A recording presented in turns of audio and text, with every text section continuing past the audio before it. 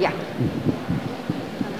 Tenemos entonces de esa cuenta que el acoso sexual dice solicitar actos sexuales en contra de la voluntad de la víctima o la perturbare de manera continua en forma oral, escrita, con gestos de naturaleza sexual que resulten hostiles o humillantes para quien lo recibe tenemos de esa cuenta que eh, mantener eh, en, la época en que se perpetró, se perpetre el hecho o haber mantenido con la víctima relaciones familiares, conyugales o de convivencia de intimidad.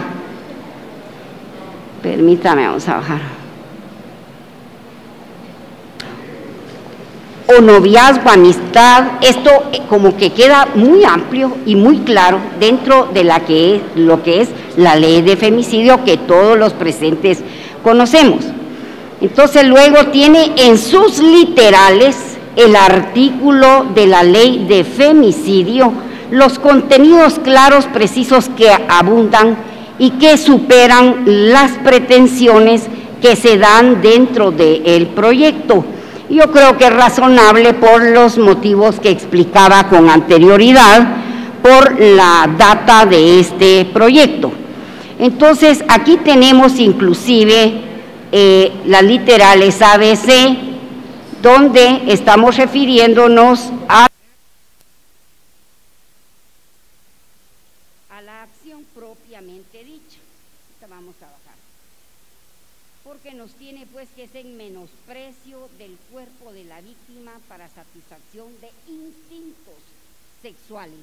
¿Qué quiere decir? Que esto conlleva, si es un instinto, es una acción también interna que se ejecuta hacia lo externo, ya sea verbal, inclusive con alguna seña.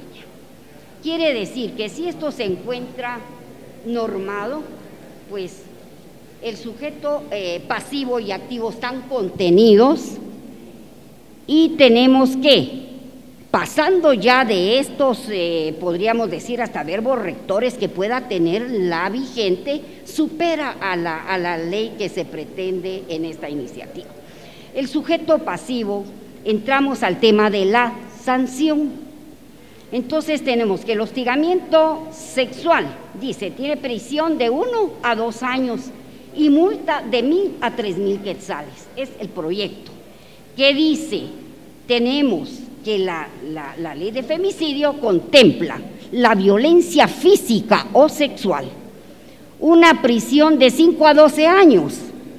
Quiere decir que tendríamos un retroceso al nosotros considerar que esta propuesta, esta iniciativa, podría superar las condiciones de lo que realmente se necesita. Entonces, eh, si tenemos que eh, sale beneficiando al sujeto pasivo, yo considero que debe de ser tomado muy en cuenta por cuanto creo no es la intención de ninguno de los señores diputados ni del presidente de la Comisión de Derechos Humanos, mucho menos de aquellas instituciones que tienen una instancia de responsabilidad sobre este tema como son los que se encuentran presentes. Para obviar en cuanto a ello, yo creo que son, serían inclusive motivos suficientes para considerar que estamos en la presencia de una iniciativa que dejó de tener validez objetiva y cumplir con los fines para los cuales indudablemente había sido concebida. Yo me quedaría allí para no agotar más porque traigo mucho más del análisis efectuado, pero a mi criterio, a criterio del Ministerio Público, quien eh, se me ha delegado esta función a través de la Secretaría de Política y me acompaña el día de hoy, la fiscal adjunta de la Fiscalía de la Mujer, quien también ha participado en eh, el análisis que hemos efectuado en este, en este caso. Así que para dar oportunidad a todos los demás participantes, yo creo que son motivos suficientes el contener, primero, veamos de qué manera nace la ley, cómo tiene que nacer una ley. Esa iniciativa tiene que tener desde su origen pues el cumplimiento de los procedimientos al interno y luego eh, como lo disponga. Ese sería el punto toral, porque estaríamos perdiendo el tiempo si aquí venimos a exponer mil cosas que a la vuelta ustedes van a considerar violenta el principio de legalidad. Así que yo con esto me quedo porque creo que esto está superado. No sé y respeto la opinión de quienes puedan considerar distinta situación, pero desde la perspectiva del Ministerio Público y la Secretaría de Política Criminal y de la Fiscalía de la Mujer, consideramos que ha sido superado. Yo me quedaría hasta ahí, que creo que son motivos suficientes como para que nosotros lo que ya externamos y que ya está en poder de ustedes, pues puedan continuar analizando lo demás. Muchísimas gracias. Muchas gracias, licenciada. Eh, parece importante los aportes que, que, han hecho en dos temas particulares, uno en el contenido de la iniciativa y otro en la legalidad del proceso, que es algo que definitivamente vamos a, a, verificar si estamos, digamos, la iniciativa está en ley o no está en ley, pero más allá de eso, que tendremos que determinar el contenido, me parece importante su y participación. Nuestra recomendación es en cuanto a que cuando se inicia la elaboración y pues los legisladores son ustedes, saben que la parte considerativa va a ser el sustento del contenido de la iniciativa, lo que es totalmente carente, carece de ese sustento la parte considerativa y creo que es muy importante que se tome en cuenta. Nosotros entonces con la mejor disposición, la mejor voluntad de brindar el apoyo y colaboración como siempre lo hemos hecho en el ámbito de nuestra competencia. Muchísimas gracias. Muchas gracias, licenciada. Señores diputados y demás Pasamos a darle la palabra a los representantes de CEPREM, también para que también de forma concisa y concreta nos, nos puedan dar su, su opinión.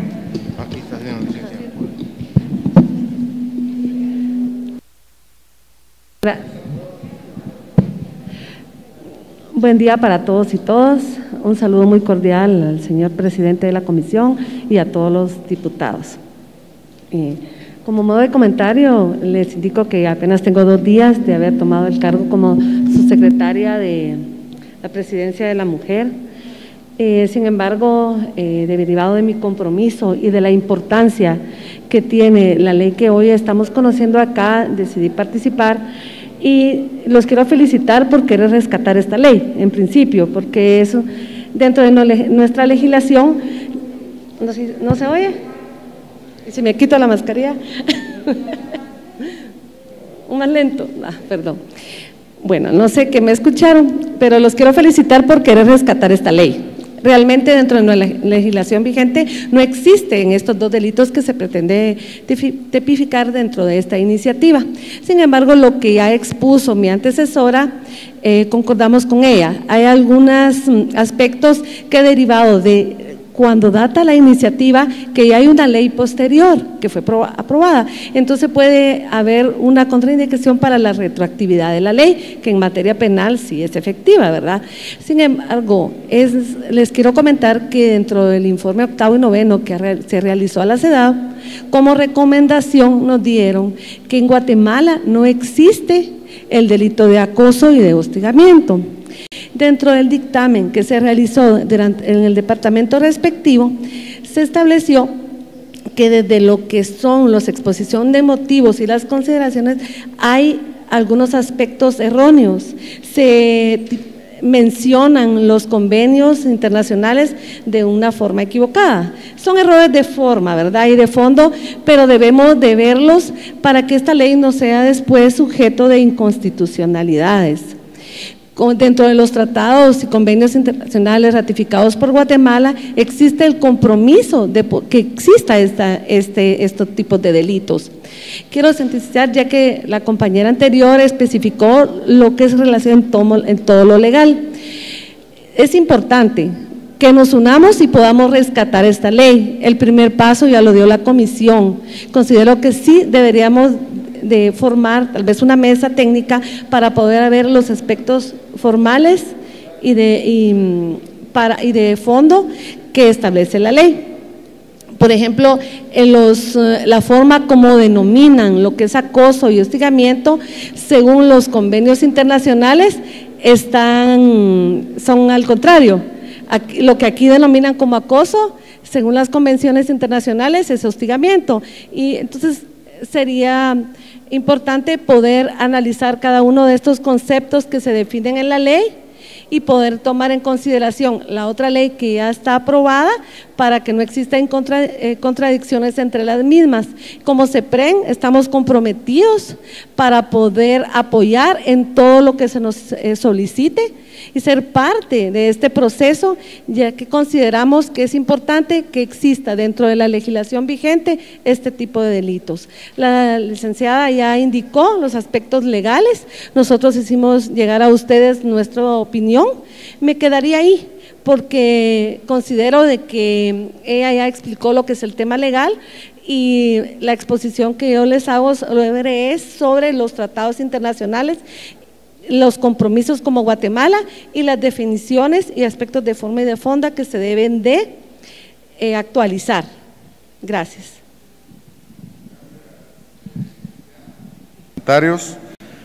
Le vamos a dar la palabra a la gente de la Secretaría contra la Violencia Sexual, Explotación y Trata de Personas, SBET.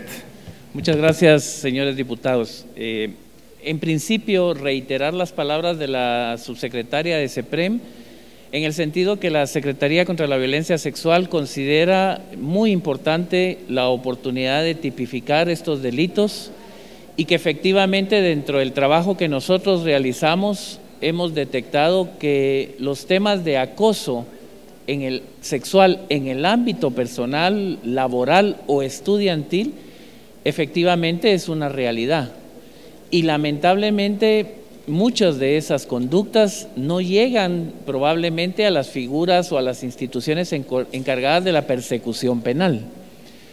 Pero precisamente la razón de legislar es que en su momento lleguen esas figuras.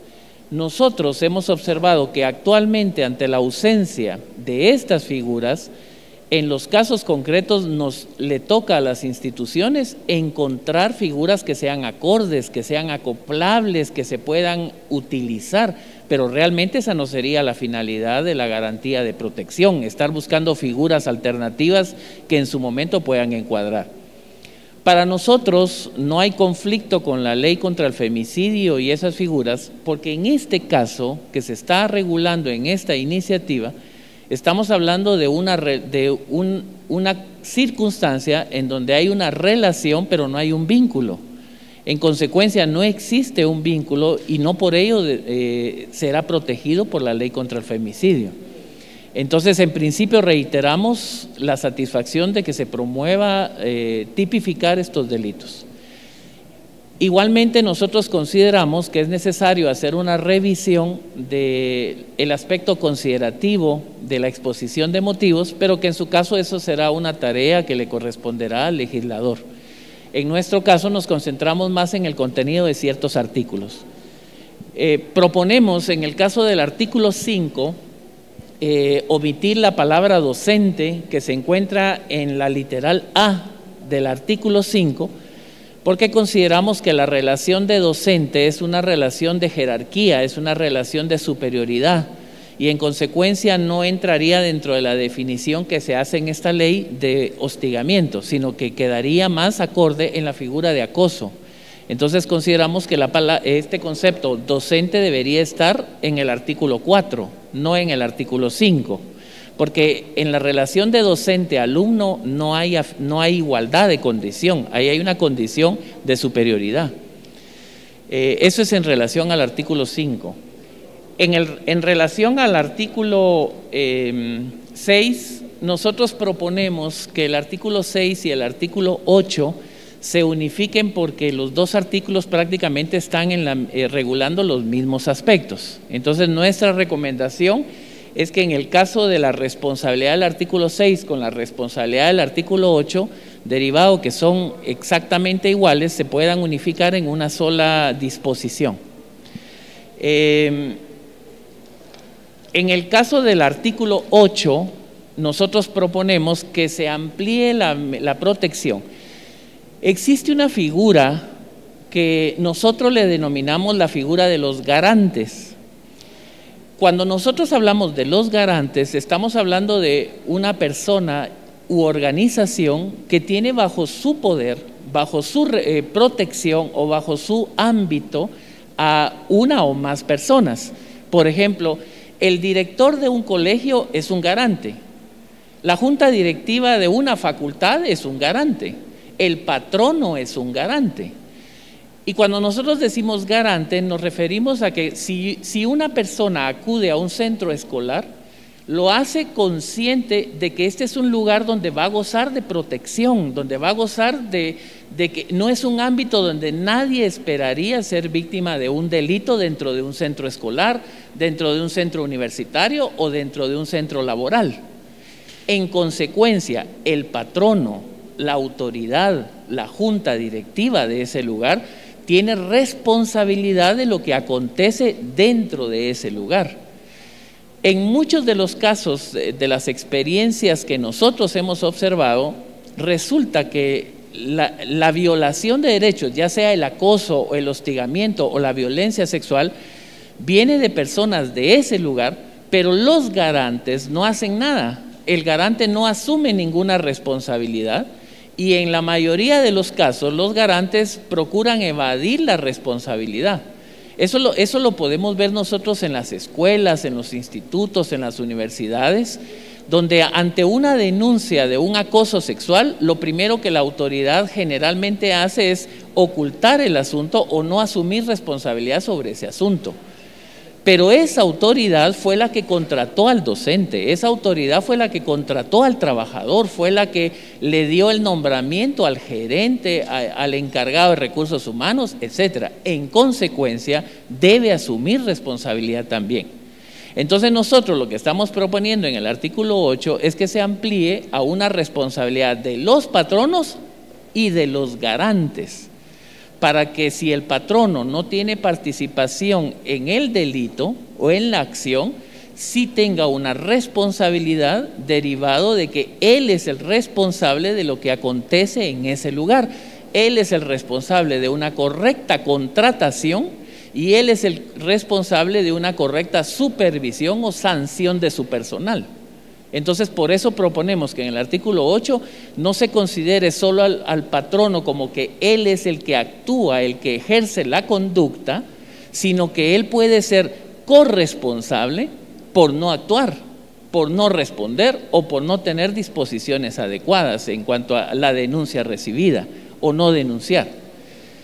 En el caso del artículo de las penas, del capítulo 4, aplicación de las penas, nosotros estamos solicitando que se agregue un párrafo, que se agregue a las penas un párrafo que establezca que se impondrán las penas sin perjuicio de las penas que pueden corresponder por la comisión de otros delitos.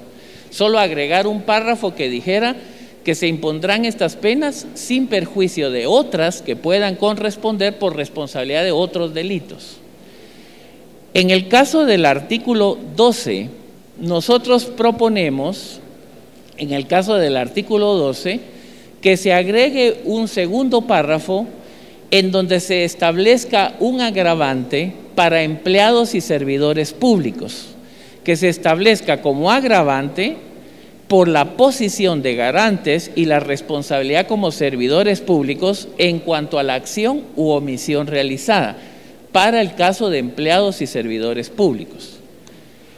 En el caso del artículo 13, nosotros, nosotros queremos eh, plantear, en el caso del artículo 13, si tomamos de ejemplo lo que lamentablemente sucede actualmente en los centros escolares a nivel público, nosotros establecemos que no hay un procedimiento para que cuando se reciba la denuncia, se reaccione de forma inmediata en cuanto a apartar o tomar disposiciones adecuadas en contra del posible agresor. Y lo que sucede normalmente es que las instituciones comienzan a mover a ese agresor dentro de la misma institución o a diferentes posiciones y muchas veces llega a lugares donde puede tener el mismo poder de realizar esa conducta, solo que ahora con otras personas. Entonces nosotros proponemos, tomando de ejemplo un procedimiento que ya está eh, similar, que está en la ley de la Policía Nacional, en la ley orgánica, acoplar ese procedimiento que está contenido en la ley orgánica de la policía y, adaptarlo para que quede establecido dentro de esta propuesta, que permitiera que ante una denuncia se pueda tomar el procedimiento de suspender en el ejercicio del cargo al supuesto agresor y que eventualmente al terminar el proceso pueda restituírsele todos sus salarios, honorarios, etcétera, que en su momento dejara de percibir, tal como está en la ley, como de ejemplo tomamos a la ley de la policía. Entonces se hace necesario establecer ese procedimiento porque actualmente no, es, no está en ninguna ley. La ley de servicio civil establece que solo cuando se dicte auto de formal prisión se podrá destituir. Pero ese, ese es un proceso de más de dos años, tres años. Entonces nosotros necesitamos incorporar un procedimiento que proponemos sea adaptado al sistema, al que ya ejemplificamos en la ley de la policía y que se pudiera eh, aplicarse dentro de la disposición. Claro, queremos reconocer que sí es necesario analizar más a fondo esta propuesta, porque hay que tomar en cuenta que hay, por ejemplo, ustedes acaban de ver recientemente un acuerdo gubernativo que salió en relación a este tema para el nivel docente, pero ahí hay un problema y el problema es que se hace una referencia a la ley de servicio civil, pero se olvida que aquellas instituciones donde hay pacto colectivo es el pacto el que prevalece y en consecuencia la ley de servicio civil es inaplicable. Entonces, eso no, no, va a proceder. Entonces, aquí sí necesitamos hacer un análisis porque el artículo 106 constitucional reconoce la contratación colectiva y en consecuencia los pactos colectivos como un, un, derecho superior a la ley ordinaria. En consecuencia, reformas a la ley de servicio civil no acabarían con esta situación, derivado que esta se, se deriva, eh, porque hay que tomar en cuenta la existencia de pactos colectivos y los pactos colectivos van a prevalecer sobre este derecho interno. Entonces, sí hacemos la recomendación, pero también hacemos la recomendación que se analice en el marco del artículo 106 constitucional para que tenga efectividad, si no, no va a tener aplicabilidad. Eh, adicionalmente, eh, establecemos que se debe agregar un párrafo en el artículo 14 en relación que eh, esta debe hacerse una salvedad en relación cuando las víctimas sean menores de edad, en cuyo caso, si la víctima es menor de edad, la acción debe ser pública, no de instancia particular, ¿verdad? Como pueden ver ustedes en el artículo 14 de la propuesta, se establece que la acción es dependiente de instancia particular. Pero nosotros proponemos que se adicione que si la víctima es menor de edad, entonces se vuelva o, o con discapacidad, la acción se vuelva pública y no se quede de instancia particular, tal como ya lo regula en este sentido el artículo 298 del Código Procesal Penal y hacerlo acorde a esta normativa. Y en el caso de los artículos eh, precisamente 16 y 17, es donde nosotros proponemos que se agregue el procedimiento disciplinario, que sería las medidas inmediatas, para que cuando se reciba denuncia se implementen garantizando de esta manera que los agresores no sean trasladados de un lugar a otro, y lleguemos al momento donde pasan años, donde se han ido moviendo de un lugar a otro y donde vuelven a hacer lo mismo, solo que ahora en otros lugares y con otras personas.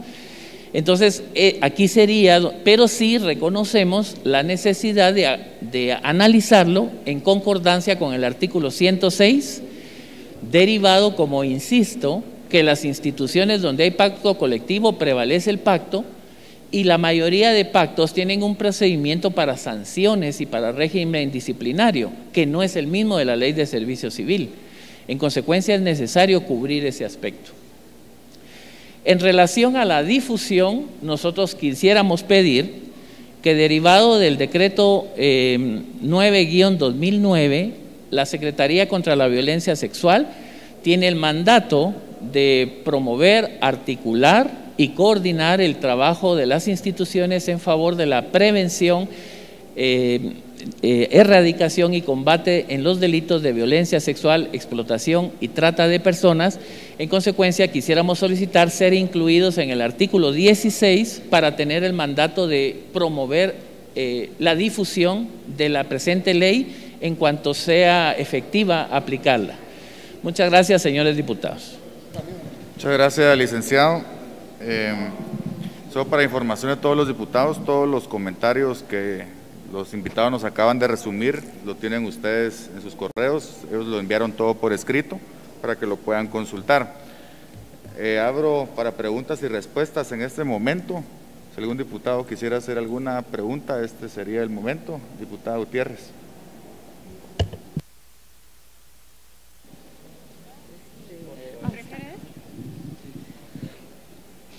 Gracias, presidente.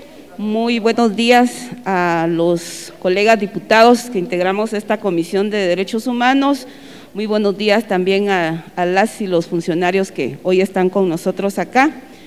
Eh, vean, yo, quisiera también, presidente, expresar eh, mi satisfacción en el sentido de haber eh, propiciado esta reunión con las instituciones porque como usted muy bien lo decía hace un momento, estas opiniones que en cierta manera hemos escuchado ya nos la hicieron llegar a los correos y prueba de ello es que ya tenemos un proyecto de dictamen, proyecto de dictamen que al momento en que pues yo lo reviso y lo le pido a mis asesores también para que lo empecemos a ver qué observaciones u opiniones tenemos al respecto, si encontraba ciertos vacíos en cuanto a las opiniones, que no me quedaban muy claros realmente por dónde podríamos orientar este dictamen.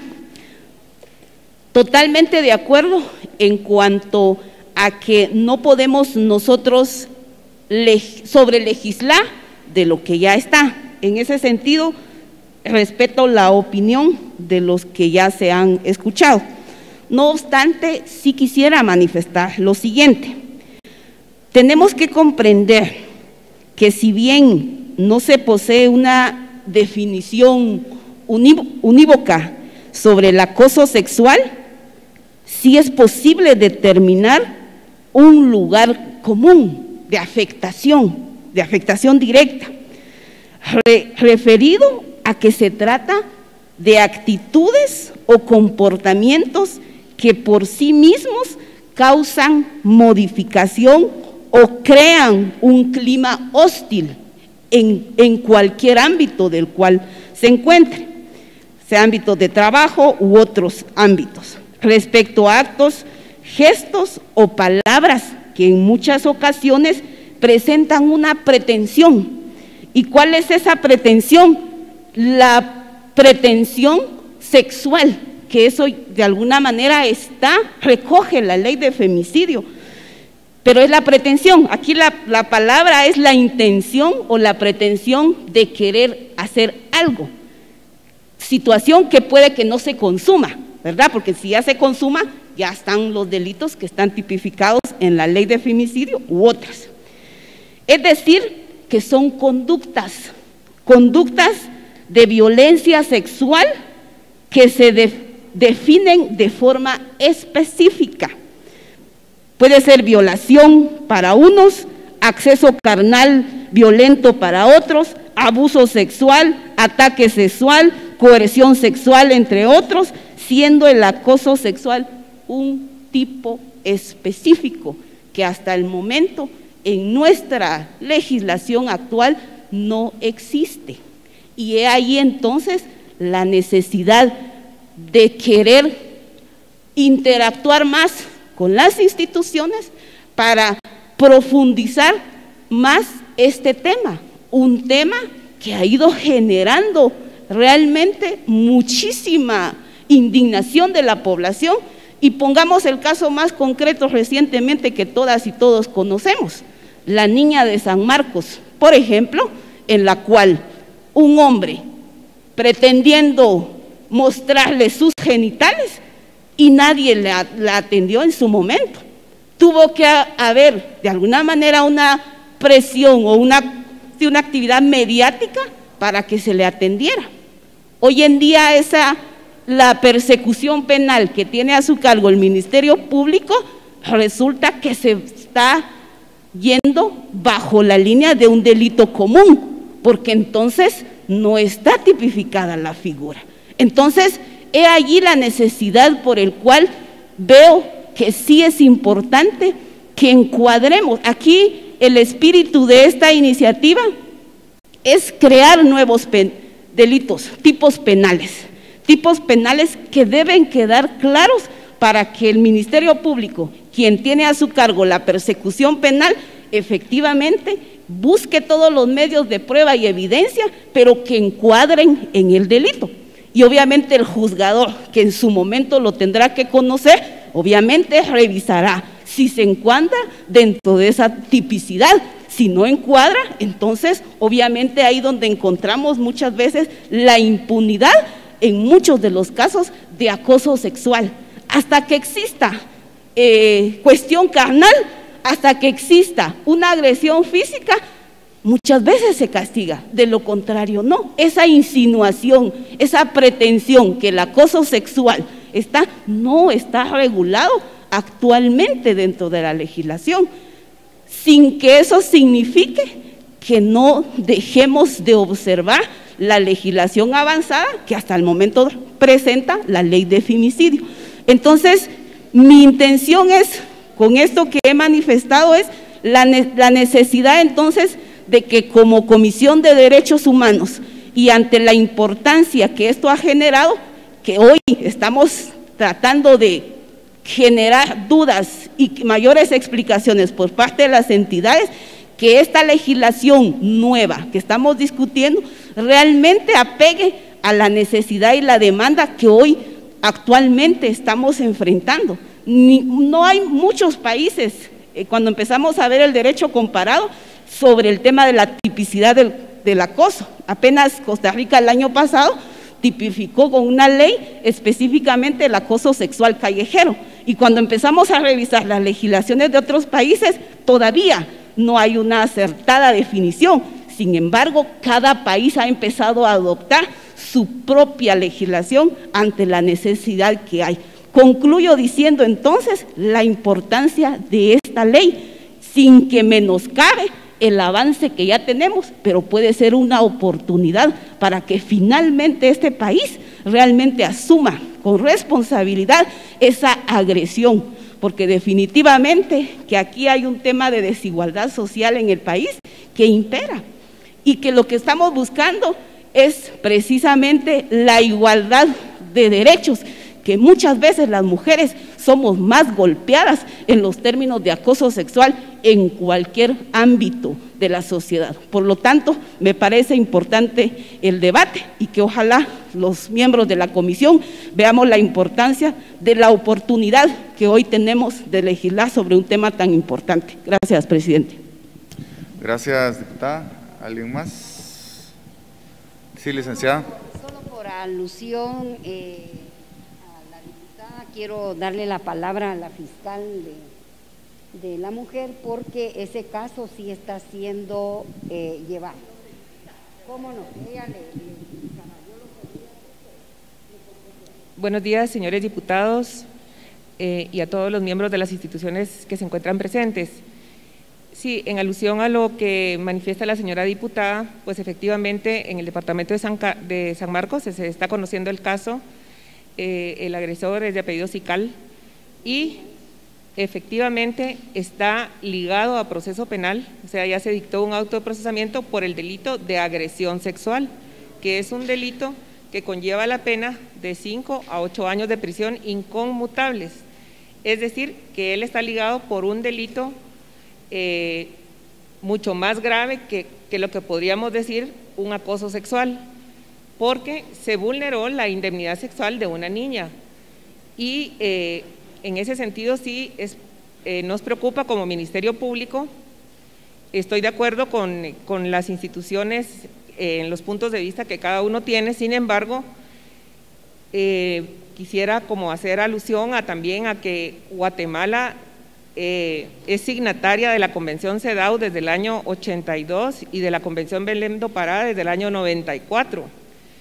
Y el ámbito público a que refiere la iniciativa de ley que estamos discutiendo el día de hoy es un ámbito que refiere el ámbito laboral, también manifiesta el ámbito educativo, el cual está inmerso en la ley contra el femicidio y otras formas de violencia contra la mujer en el ámbito público. Entonces, la preocupación del Ministerio Público es que en lugar de que se avance en la protección de los derechos, en este caso de las mujeres, sea un retroceso, porque eh, recordemos que en materia penal eh, existe el principio indubio pro reo, o sea, le va a beneficiar a él, o sea, lo que a él le beneficie. Y entonces sería como disminuir lo que nosotros, la, lucha que se ha ganado eh, en la protección de los derechos de las mujeres. Si en el ámbito educativo también existe esa protección en esa ley y como repito, está el delito regulado en el Código eh, Penal que fue incorporado a través de la Ley contra la Violencia Sexual, Explotación y Trata de Personas, que es el delito de agresión sexual y que conlleva eh, acciones, ¿verdad? Sin que sea un...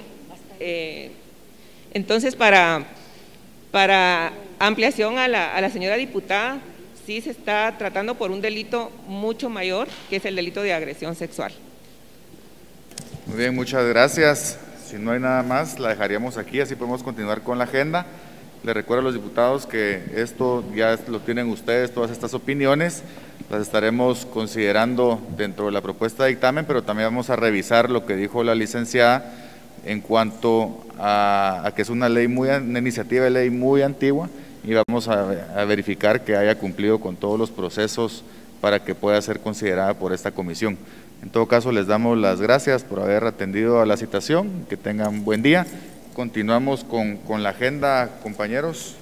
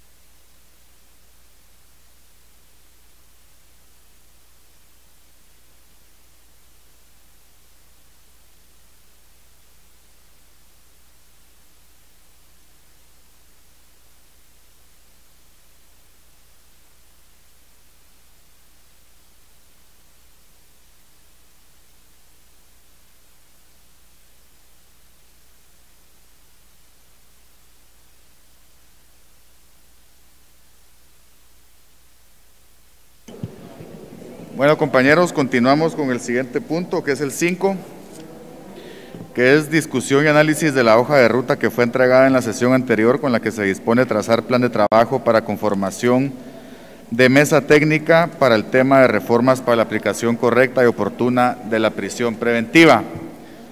Eh, como, tal como habíamos acordado hace algunas semanas, yo les envié una propuesta de hoja de ruta que todos ustedes la, la recibieron eh, espero la hayan visto, si no, la tienen, se las están entregando en este momento.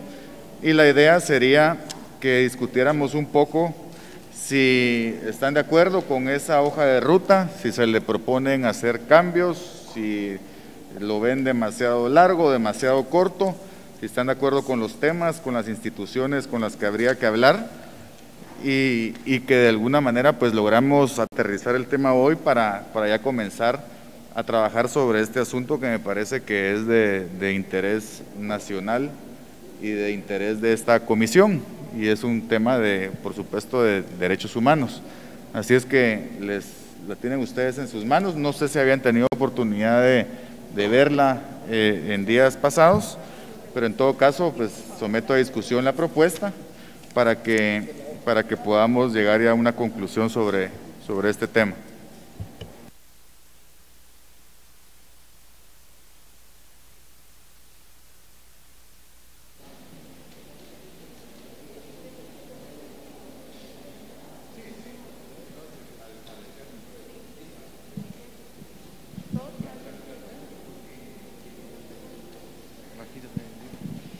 Buenos días a todos, colegas, eh, señor presidente. Yo solo en esta hoja de ruta miro la necesidad de poner tiempos. Necesitamos eh, establecerlos porque de lo contrario estas mesas técnicas se quedan para toda la vida y nunca llegan a ninguna conclusión. Es la única observación que yo tendría a la hoja de ruta. Gracias, señor presidente. Gracias, diputada. Concuerdo.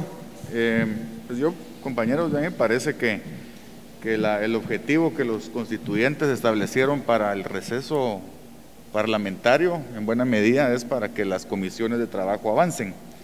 Me parece que ahorita que estamos en ese periodo pudiéramos tener más sesiones de las que hemos acordado para conocer este tema en particular y, poder ponernos la meta de que para cuando comience el segundo periodo ordinario, pues ya tengamos algo concreto sobre la mesa que podamos presentar eh, como comisión ante el Pleno para que se conozca y poder avanzar en esto. No sé si ustedes estarían de acuerdo en, digamos, quizá incrementar un poco la carga de trabajo de la comisión por este tema particular, además, además de las eh, reuniones y sesiones que ya tenemos programadas para avanzar esto, porque al final me parece que es importante que una, una iniciativa como esta efectivamente tome en consideración la opinión de las instituciones que están planteadas. Es decir, no, no me parece que es un tema que solo como comisión podemos meternos, porque al final no es nuestra especialidad y es un tema que conlleva la participación de muchas instituciones.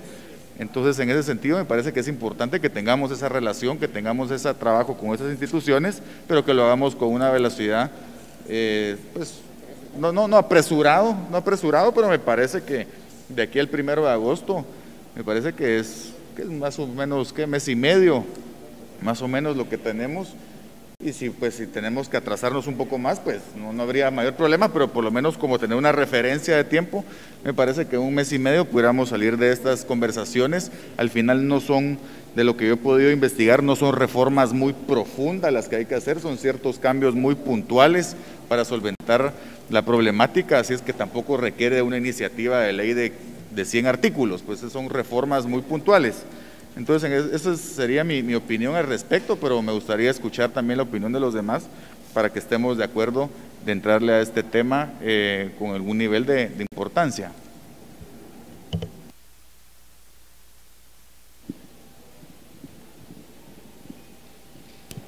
Bueno, acepto su silencio como unanimidad. Presidente, usted proponía, usted proponía aquí seis semanas.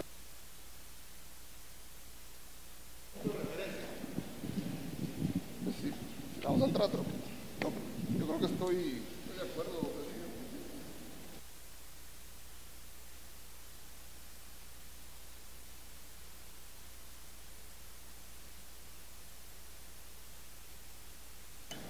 Muy bien, entonces lo vamos a actualizar y se los envío de nuevo agregándole esa, ese cronograma.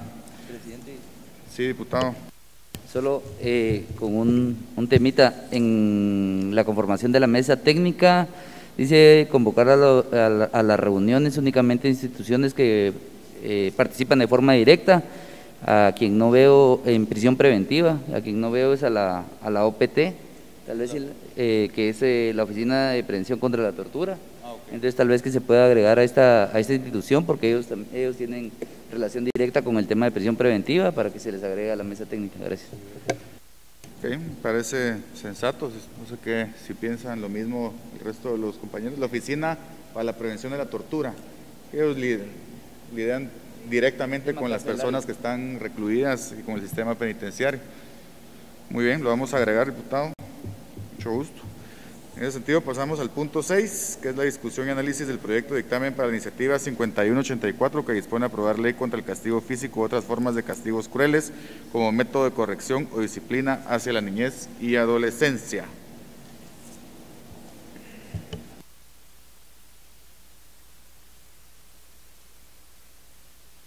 Nosotros, desde eh, la presidencia de la comisión y los asesores, eh, trabajamos un proyecto de dictamen que es, que se les va a presentar en este momento, no para que lo firmemos, por supuesto, sino para que ustedes lo reciban, lo analicen, que va eh, como desfavorable.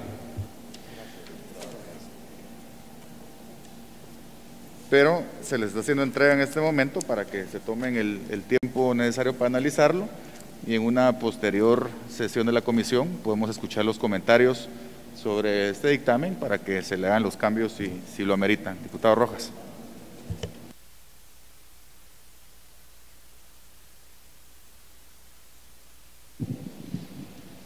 Gracias, presidente. Tal vez solo eh, como eh, los asesores eh, de la presidencia de la comisión fueron los que hicieron el análisis, ¿no sería conveniente más o menos que nos dieran una idea para que se nos facilite el por qué decidieron el dictamen desfavorable? No, es porque no, no, estemos de acuerdo, sino que más o menos para que se nos facilite un poquito la idea de, del por qué. Gracias. Aquí tengo un resumen que, me hicieron, pues es muy, muy breve, porque es muy conceptual, pero la idea es la siguiente. Se propone dictamen, dictamen desfavorable, puesto que el espíritu de los artículos de la presente iniciativa se encuentran normados en otros cuerpos legales vigentes, por lo que sería contraproducente continuar con el trámite legislativo de la presente iniciativa, ya que podría generar sobreregulación o antinomias que generen confusión en la aplicación de la ley. Es decir, es un, es un problema que como estamos tratando de de limpiar la mesa de todo lo que había sin dictaminar en la, en la comisión, hay muchas iniciativas que ya fueron superadas por otras legislaciones. Entonces, un poco ese es el espíritu, eh, diputado, de por qué se plantea el dictamen desfavorable, pero en todo caso ustedes ahí lo tienen para que lo, analicen y lo discutamos en su momento. Sí. Pasamos al siguiente punto, que es conocimiento de la correspondencia recibida en la comisión no sé, como todos los jueves, se les envía toda la correspondencia que me llega a mí a la presidencia. Si alguno de ustedes quisiera hacer referencia a alguna de ellas en particular. Eh, diputado Félix.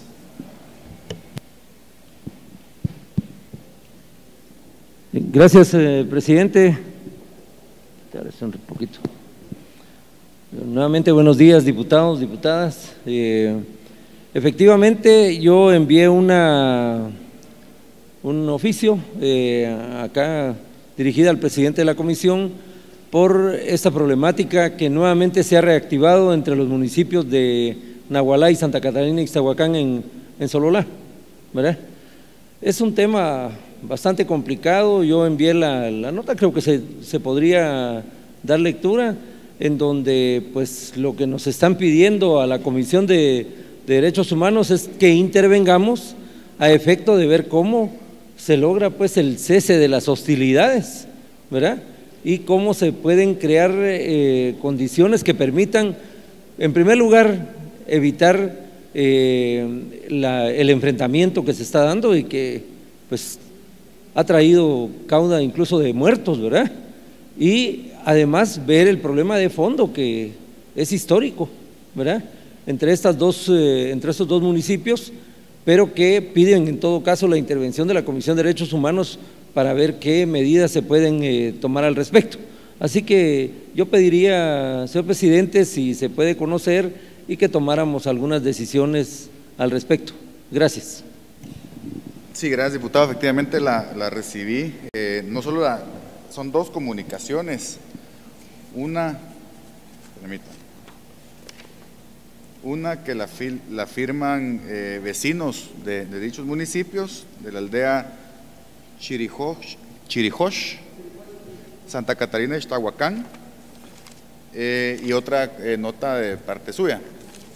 Aunque aquí estoy viendo que hay otra, permítame. No es la misma. Y otra de, parte suya, en donde, si quieren, voy a leer la, la suya, diputada, la otra es algo extensa. Voy a leer con mucho gusto la suya. Dice. Señor presidente, con todo respeto me dirijo a usted como integrante de la Comisión de Derechos Humanos y a requerimiento de autoridades locales de la aldea Shirijosh Chirijosh, municipio de Santa Catarina y Xtahuacán Sololar, remito solicitudes interesados quienes exponen ser afectados por el conflicto entre los municipios de Santa Catarina y Xtahuacán y Nahualá, el departamento de Sololá. Asimismo, que la misma se conozca en la sesión de la comisión convocada para el día 10 de los corrientes a las 10 horas.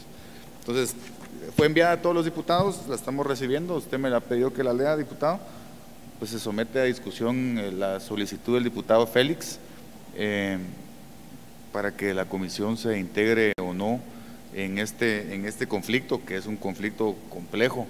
Yo entiendo que el vicepresidente de la República incluso fue designado por el presidente para, para armar una mesa de diálogo eh, que no sé si tuvo mucho éxito o no. Aparentemente no, porque si no nos estuvieran pidiendo que, que nos integráramos, pero en todo caso no, no sé hasta dónde es, eh, digamos, una tarea de la comisión entrar en ese tipo de negociaciones, pero lo someto a discusión, diputado Rojas.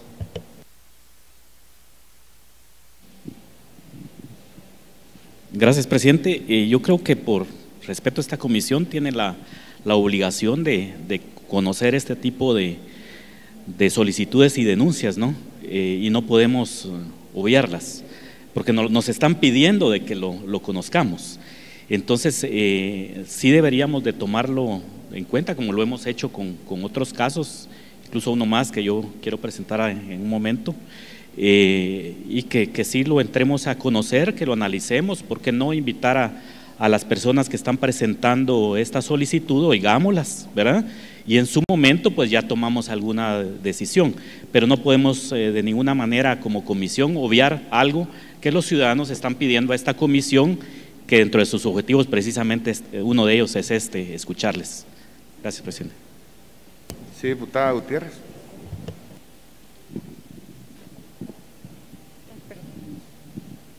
Gracias, presidente.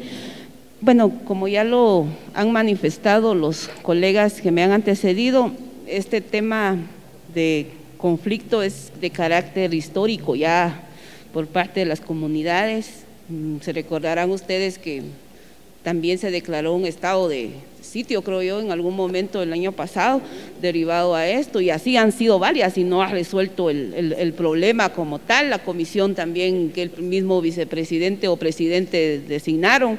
En fin, yo creo que han habido esfuerzos. Sin embargo, tal vez em, un poco en aras de ver cómo atendemos la problemática, en el entendido que es complejo, que tampoco es que lo vamos a resolver nosotros la comisión, ¿va? Sin embargo, además de sumarme a lo que ya decía acá el eh, diputado que me antecedió, escuchar a las partes que nos han hecho la comunicación oficial, porque no podemos obviar, hay una petición que nos están haciendo como comisión, pero escuchémoslas también a ellos. Y por el otro lado, dentro de nuestra facultad, presidente y diputados, pues también sería escuchar eh, a las instituciones que han estado en este tema, dígase al ministro de Gobernación, ¿verdad? Porque entiendo yo que una petición muy en concreto es que no existen los protocolos de seguridad para la atención. Entonces, hoy en la tarde o a medianoche resulta que se dan los disparos y, la, y nadie está, la policía no está. Entonces, esa es como la, la petición que ellos han planteado hay un vacío también ahí por parte de las instituciones. Entonces yo pediría que además de que escuchemos a los peticionarios, pues también a mí me interesaría que también viéramos con el ministro de Gobernación cómo están atendiendo, principalmente cuando se dan este tipo de, agresiones que ya lamentablemente han habido pues hasta eh, muertes, ¿verdad? Yo creo que no podemos nosotros obviar o hacer oídos sordos frente a una necesidad que está afectando hacia la población, hasta donde la comisión podamos intervenir, digo.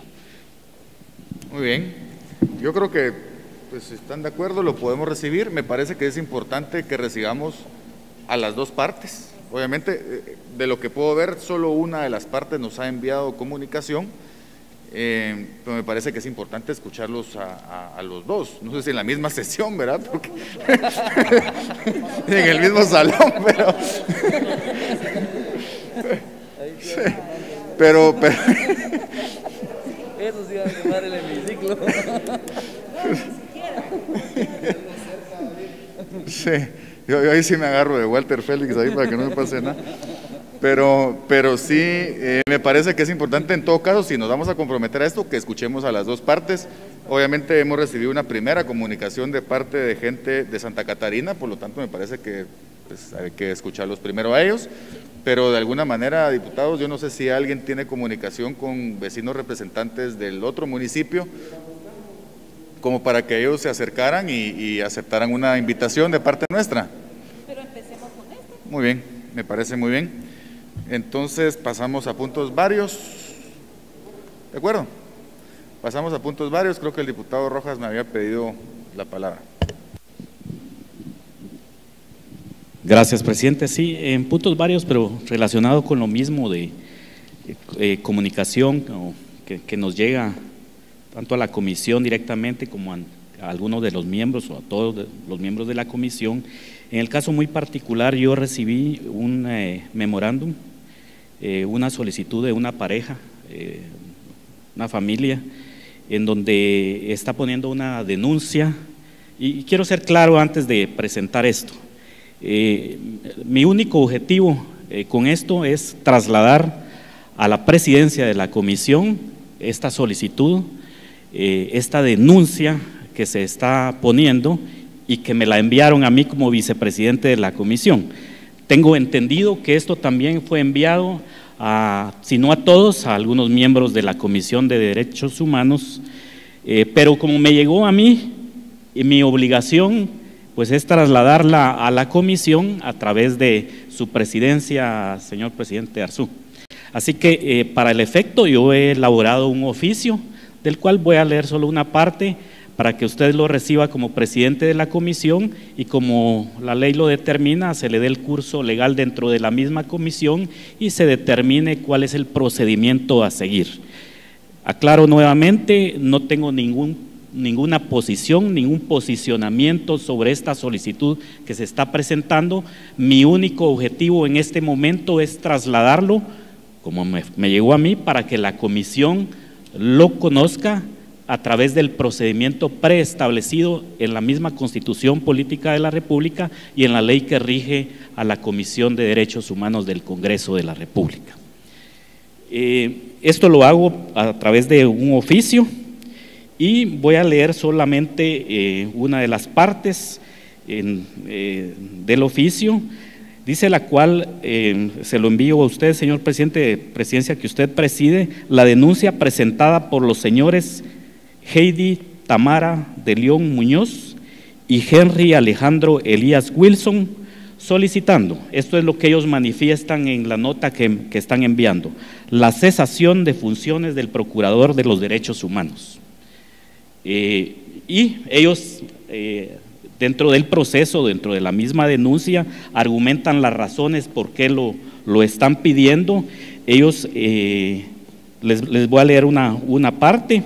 En el caso concreto, dicen ellos, del Procurador de los Derechos Humanos a través de la Procuraduría Adjunta 2, la señora Claudia Maceli Loaiza, de forma tardía en su investigación eh, solo em, solicitó informe de la denuncia y aquí habla de la exfiscal Tel Maldana y otras personas, en donde ellos básicamente lo que creen es de que se le vulneraron sus derechos humanos a una su hija menor de nueve años. Es un caso eh, realmente que amerita una investigación eh, específica. ellos dicen de que el actuar del Procurador de los Derechos Humanos está en contra de lo que establece el artículo 14 de la Ley de Comisión de los Derechos Humanos del Congreso de la República y del Procurador de los Derechos Humanos, decretos 5486 y 3287, y el artículo 20 de la Constitución Política de la República. Por lo antes expuesto, remito la denuncia interpuesta por los señores Heidi Tamara de León Muñoz y Henry Alejandro Elías Wilson, eh, para que se conozca, presidente, eh, se le haga cursar eh, también a todos los señores diputados y que se determine eh, cuál es el proceder. sin duda alguna, nos gustaría oír qué es lo que el procurador tiene que decir sobre este, esta solicitud, siendo en este momento, en el caso mío, imparcial totalmente. No he ni siquiera entrado a, analizar la, la, solicitud, pero lo considero obligatorio trasladarlo a la comisión eh, para que sea analizado y sea conocido en su momento. Entonces, quiero en este momento, señor presidente, entregarle el oficio que de parte de mi despacho hemos redactado para que usted lo tenga oficialmente.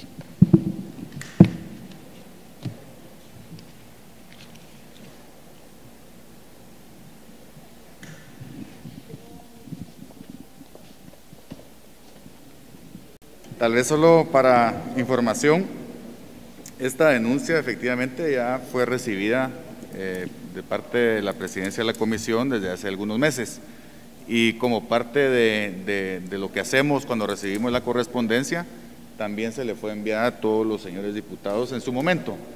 Eh, yo siempre pregunto acá si hay alguna nota o carta que, se quisiera discutir, nunca se pidió esta, el diputado lo está pidiendo en este momento, con mucho gusto se los enviamos otra vez a todos, eh, todavía lo deberían de tener, pero con mucho gusto lo volvemos a, enviar. Eh, lo que usted está proponiendo, diputado, es que se le cite al señor procurador o cuál sería exactamente el curso de acción que usted propone. Eh, tal vez, presidente, como le hacía ver, el, aparte de las copias que usted nos envía de toda la documentación que se recibe a la comisión, esto me lo enviaron ellos personalmente a mí, ¿verdad?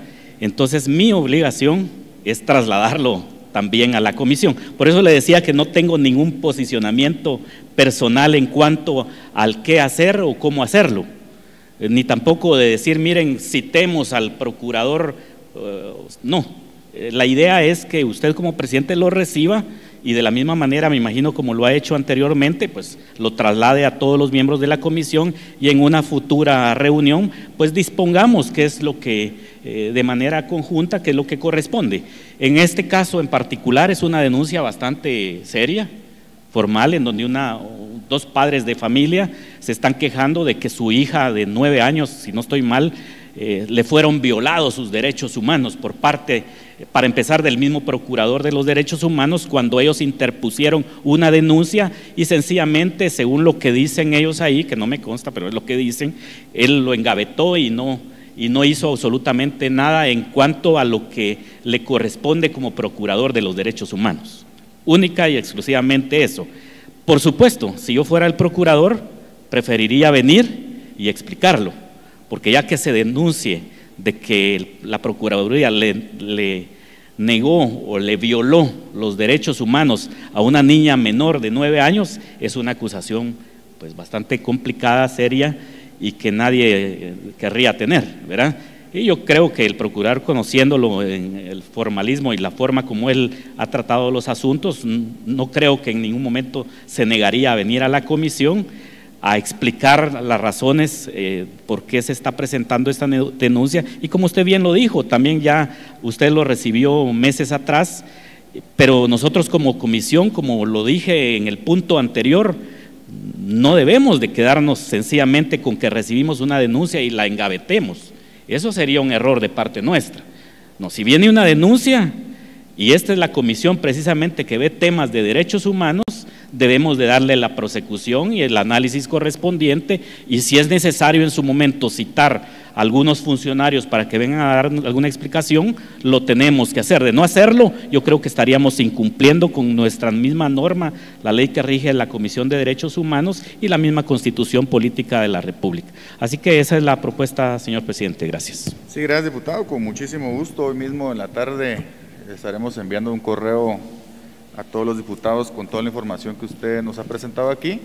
Lo podemos someter a votación, a, discusión, perdón, en una siguiente, hoy no tenemos suficiente quórum para votar, pero en una siguiente sesión podemos someter a discusión para que la comisión decida cuál sería el proceder con respecto a esta denuncia. Diputada Gutiérrez. ¿Ya no? Muy bien.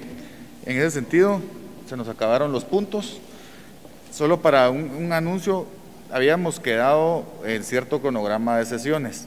Nos salteamos unas, una semana, la semana pasada, porque había muchos diputados que no podían acudir. Entonces, para ponernos otra vez al día, digamos, en lo que se había acordado en la comisión, vamos a tener reunión eh, de la comisión la próxima semana para ya, para ponernos otra vez, regresar al cronograma original. Entonces sería el martes. Miércoles, miércoles 16, miércoles 16 sería a las 10 de la mañana la sesión de la próxima semana. Así es que si no hay más, compañeros, eh, tengan buena tarde.